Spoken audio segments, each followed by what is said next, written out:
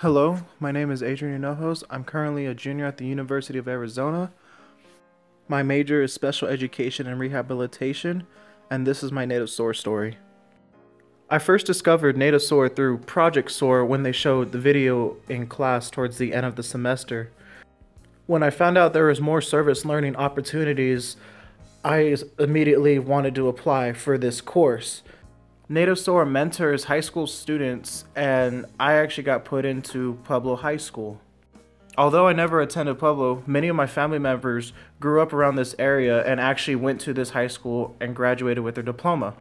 When I told my family about this opportunity, they got really excited of how I actually are going back to where they grew up and what they went through knowing that my family was actually fully supportive of me going back to their old high school and giving back to these students made me really happy in the fact that I felt like I was doing something right.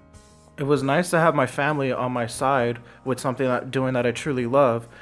But also the students that are there made me feel welcome just saying hi to me I enjoyed going to the school every time I had a mentor because my mentees would be really excited to come see me. And as in this photo, this is where we like to mentor a lot because no one was really there.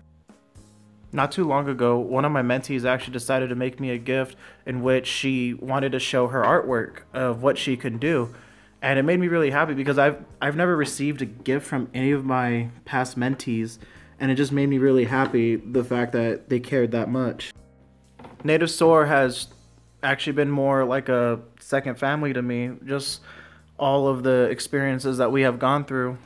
Sharing personal experiences in the classroom is what really made me want to stay inside of this environment because it felt like home.